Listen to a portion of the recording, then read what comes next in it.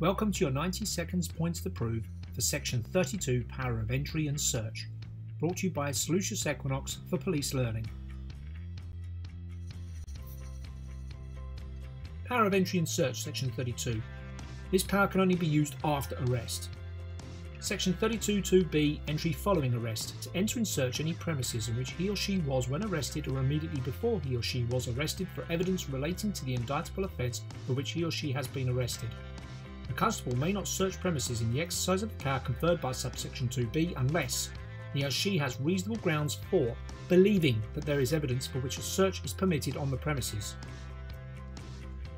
Insofar as the power of search conferred by subsection 2b relates to the premises consisting of two or more separate dwellings, it is limited to a power of search to a. any dwelling in which the arrest took place or in which the person arrested was immediately before his or her arrest, and b. any parts of the premises which the occupier of any such dwelling uses in common with the occupiers of any other dwellings comprised in the premises. Remember, key elements of this power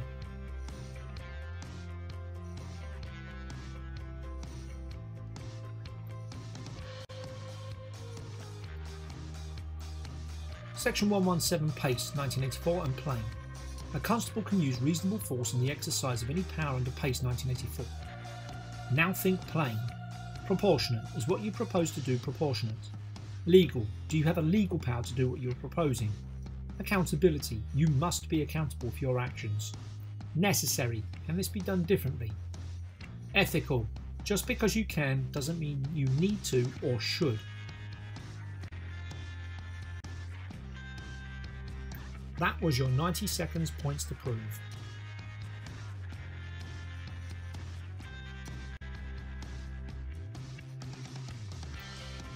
Brought to you by Solucious Equinox Training Solutions, aligning your training needs.